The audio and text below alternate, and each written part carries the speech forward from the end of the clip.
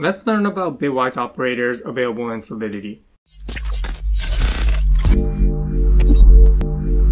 We'll go over the basics of AND, OR, XOR, NOT, shift left, and shift right. Let's start with AND. The AND operator takes two numbers. In binary notation, these two numbers will be a sequence of zeros and ones. The output is also a number, a sequence of zeros and ones, where it is a 1 if both the inputs are 1 and 0 otherwise. Let's take a look at an example. For example, let's say that x is equal to 14 and y is equal to 11. In binary representation, we can represent x as 1, 1, 1, 0. This is equal to 8 plus 4 plus 2 plus 0, which is equal to 14. Likewise for y, y can be represented as 1, 0, 1, 1. Now the bitwise AND operator looks at each bits for the inputs and returns a 1 if both of them are 1, otherwise it returns a 0. So, for example, the leftmost bit for x and y are both 1, so this will return a 1. Next, we have 1 and 0, so the result will be a 0. Next, we have 1 and 1, so that will be a 1. And last, we have 0 and 1, so the result will be a 0. This is equal to 8 plus 0 plus 2 plus 0, so this will be equal to a 10. In Solidity, we can write this AND operator as return x and y. So that is the bitwise AND operator. Let's move on to the OR operator. In the AND operator, we took two numbers and for each bits, we returned a 1 if both the bits were 1 and it returned 0 otherwise. For the OR operator, it will return a 1 if either of the bit is a 1. Let's take a look at an example. For example, let's say x is equal to 12 and y is equal to 9. We can write 12 as 1100 and we can write 9 as 1001. So what would be the result of x or y? We said that OR returns a 1 if either of the bit is a 1. So, for example, starting with the left, we have a 1 and a 1, so we return a 1. For the next bit, we have a 1 and a 0. The OR operator returns a 1 if either of the bit is a 1. So here we return a 1.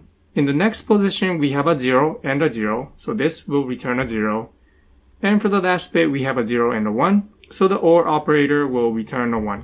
And this will be equal to 8 plus 4 plus 0 plus 1. And this is equal to 13. In Solidity, the OR operator is a vertical pipe. So, for example, we'll say return x or y. So that's the OR operator. Let's move on and talk about the XOR operator. Exclusive OR. The XOR operator returns a 1 only if one of the bit is equal to a 1. So if either the first bit is a 1 and the second bit is a 0, or the other way around, the first bit is a 0 and the second bit is a 1, then it will return a 1. Otherwise, it will return a 0. This is unlike the OR operator, where it returns a 1 if either the first bit or the second bit is a 1. Let's take a look at an example. For example, let's say that the first input x is a 12 and the second input y is a 5. 12 we can write it as 1100 and 5 we can write it as 0101. So what is x XOR y? x XOR y is equal to the XOR operator returns a 1 only if one of the bit is equal to a 1. Starting from the left, we have a 1 and a 0. So the XOR of 1 and 0 is a 1. Next, we have a 1 and a 1. XOR returns a 1 only if one of the bit is a 1. In this case, we have both of them being a 1, so this will return a 0. The next bit is a 0 and a 0, so it will return a 0. And lastly, the last bit is 0 and a 1, so the XOR returns a 1. And this is equal to 8 plus 0 plus 0 plus 1, which is equal to 9. In Solidity, we will use this character for the XOR operator. So I'll type return x, this weird symbol, y. Okay, let's move on and talk about the NOT operator. This is a simple operator. It flips the bits. So if the bit is a 1, then it turns it into a 0. And if it was a 0, then it turns it into a 1. For example, let's say that x is equal to 12, and we'll represent this as 8 bits. So here we have a sequence of 8 zeros and 1s. Using the NOT operator, we will flip a 0 to a 1 and 1 to a 0. So this will be 1, 1, 1, 1, 0, 0, 1, 1. And this will be equal to 128 plus 64 plus 32 plus 16 plus 0 plus 0 plus 2 plus 1. And using my calculator, this is equal to 243. In Solidity, we can use the not operator by typing return tilde x. Okay, next, let's talk about shift left and shift right operator. And we'll start with shift left. The shift operators shifts the bit either to the left or to the right. For example, if we shift 1 0 times, then this is 1, we shift it to the left 0 times, so it will still be equal to 1. If we shift 1 one time to the left, then the resulting number will be moving this one once over to the left. So the resulting number is 0010 and this is equal to 2. Likewise, if we shift 1 over to the left twice, then the resulting number is 0100 and this is equal to 4. Likewise, if we shift 1 three times, then we get 8. How about if we shift 3 to the left two times? What does this equal to? Well, first, let's write 3 in binary notation. In binary notation, this will be equal to 0011. And we are going to shift the bits twice to the left. So we're moving these two numbers 1, 1 to the left twice. So this will be 1, 1, 0, 0. And this is equal to 8 plus 4, 12. To use the shift left operator in Solidity, we will put this arrow looking thing. So say return x less than less than bits. Okay, let's move on and talk about shift right operator. The shift left operator moves the bits to the left. On the other hand, the shift right operator moves the bits to the right. Let's take a look at some simple examples. Starting from a, if we do zero shift rights, then we're not moving any bits to the right, so the resulting number is a 8. If we do a shift right one time, then we are moving this one over to the right once. So the resulting number is 0, 1, 0, 0, and it is equal to 4. Likewise, starting from 8, if we do a shift right twice, then we're moving the 1 twice to the right. So the resulting number is 0, 0, 1, 0, and this is equal to 2. If we do it 3 times, then the resulting number is 0001 and this is equal to a 1. How about starting from A, we do a shift right 4 times. Well notice that if we do a shift right 3 times, then we get 0001. So if we do it one more time, then this 1 will disappear and the resulting number is 0000 or equal to 0.